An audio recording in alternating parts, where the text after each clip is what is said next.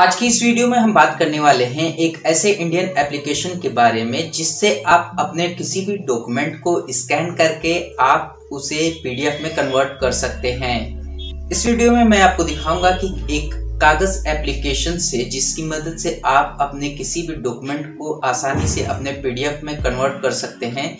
इस एप्लीकेशन की खास बात यह है कि आप इसमें ना ही तो आपको एड्स देखने को मिलेंगे और ना ही किसी टाइप्स का आपको वाटर मार्क इसमें देखने को मिलेगा और साथ ही साथ ना ही आपको इसमें अपना कोई भी लॉगिन आईडी पासवर्ड इंटर करके कोई भी रजिस्ट्रेशन नहीं करना होगा।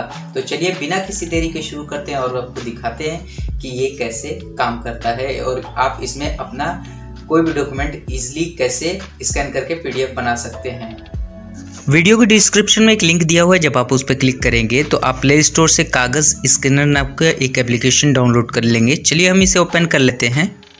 ओपन करने के बाद आपको ना ही तो इसमें एड्स देखने को मिलेगा और ना ही सबसे आईडी पासवर्ड इंटर करके इसे ओपन करना होगा। ये ऑलरेडी ओपन हो जाएगा आपको। ओपन करने के बाद सबसे पहले आपको क्या करना है कि माई फोल्डर का जो ये ऑप्शन है, यहाँ से आप चाहे तो एक अपना मनचाह फोल्डर क्रिएट कर सकते हैं। या तो आप कोई नोट्स बना सकते हैं या आईडी कार्ड या बिल भी यहाँ से आप बना सकते हैं। यहाँ ऐड योर फोल्डर पर क्लिक करेंगे और यहाँ पे आप अपना एक फोल्डर क्रिएट कर सकते हैं। इसके बाद यहाँ पे आप थ्री डॉट पे जाएँगे, उसके बाद सेटिंग्स पे जाएँगे। तो सेटिंग्स पे जाने के बाद आप यहाँ से चाहें तो आप इसमें आप लॉक भी लगा सकते हैं कि क्योंकि आपका जो भी कभी कोई ओपन करे तो इसमें लॉक लगा हो तो आप उसको पासवर्ड की ज़रूरत पड़े। इसके बाद यहाँ पे ना ही तो आपको वाटर मार्क कोई देखने को मिलेगा। इसके बाद अगर आपको पीडीएफ बनाना है तो यहाँ पे प्लस साइन पे क्लिक करेंगे। प्लस साइन पे क्लिक करते ही यहाँ पे सबसे पहले हम इसे अलाउ कर लेंगे। अलाउ करते ही आपके सामने ये कैमरा ओपन हो जाएगा और ओपन होने के बाद सबसे पहले हम चलिए एक बुक को स्कैन करके आपको दिखा देते हैं। हमें स्कैन कर लेते हैं। तो ये हमने फ़र्स्ट पेज इसका हमने स्कैन कर लिया है। अगर हम एक से ज़्यादा पेज स्कैन करना चाहते हैं तो इसे हम वो भी कर लेंगे। तो हम इसे क्या करते हैं? यहाँ पे हम सेकंड पेज इसका स्कैन कर लेते हैं। तो यहाँ पे आप देख रहे हैं कि फ़र्स्ट एंड सेकंड पेज हो गया। इसके बाद यहाँ पे हम थर्ड पेज को कर लेते हैं।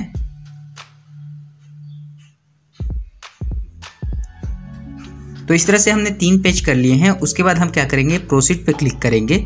तो प्रोसीड पे क्लिक करेंगे तो हमारा ये पीडीएफ रेडी हो गया है। लेकिन हम इससे पहले क्या करेंगे? इसमें हम कोई सेटिंग्स करना चाहते हैं तो कर सकते हैं। जैसे इसे क्रॉप करके हम यहाँ से इसे, इसकी साइज़ को फिट कर लेंगे। तो यहाँ से हमारा ये पीडीएफ रेडी हो चुका है। इसके बाद यहाँ से चाहें तो हम इसे मैजिक कलर दे सकते हैं। Magic colour one magic colour two and grey mode और यहाँ से आप चाहें तो आप इसे ब्लैक एंड वाइट भी दे सकते हैं। तो इसमें सबसे बेहतर है आपके लिए मैजिक कलर वन तो हम चूज़ कर लेंगे एंड डन पे क्लिक कर देंगे। एंड पे क्लिक करते ही आपके सामने आप देख सकते हैं कि ये तीन पेज आ चुका है। तो यहाँ पे हम क्या करेंगे? यहाँ से हम पीडीएफ लिखा हुआ है ऊपर, वहाँ से पीडीएफ कन्वर्ट कर लेंगे। और यहाँ से आप चाहें तो शेयर पे क्लिक करके आप चाहें तो इसे शेयर भी कर सकते हैं। इसके बाद यहाँ पे प्लस पे क्लिक करेंगे। यहाँ से चाहें आप थ्री डॉट पर क्लिक करके आप इसे शेयर कर सकते हैं। इमेज में भी आप इसे सेव कर सकते हैं, इसे मूव टू फोल्डर कर सकते हैं तो आप यहाँ से मूव टू फोल्डर करेंगे और यहाँ पे जो भी आपने डॉक्यूमेंट का फोल्डर बनाया है या जो भी फोल्डर आपने क्रिएट किया है, यहाँ से आप इसे इंटर कर सकते हैं। इसके साथ ही अगर आप किसी को कैंसिल चेक भी भेजना चाहते हैं तो आप क्या करेंगे? प्लस साइन पे क्लिक करेंगे और एक और एक कैंसिल चेक ले लेंगे। तो हम क्या करते हैं? कैंसिल चेक को भी क्लिक कर लेंगे। क्लिक करने के बाद प्रोसीड पे क्लिक करेंगे और प्रोसीड पे क्लिक करने के बाद आप यहाँ से इसे क्रॉप करके अपने हिसाब से इसे फिट कर लेंगे, करेंगे। नेक्स्ट करते ही आप देख सकते हैं यहाँ से हम डन करेंगे। और डन करते ही यहाँ से फिर से हम ओके कर देंगे। ओके करने के बाद आपके सामने ये आ चुका है तो आप इसे देख सकते हैं। इसके बाद बाय द वे आप कभी इसमें फिर से आप एक पेज बढ़ाना चाहते हैं तो हम क्या करेंगे, इसे ओपन करेंगे। ओपन करने के बाद फिर से हम यहाँ पे प्लस साइन पे क्लिक कर देंगे। तो चलिए हम आपको दिखा देते हैं। जैसे सपोज़ कि हमने इस पेज को फिर से आपको स्कैन करना है तो हम क्या करेंगे, यहाँ से प्लस साइन पे क्लिक करेंगे और ओके करेंगे। तो ओके करने के साथ फिर से प्रोसीड करेंगे।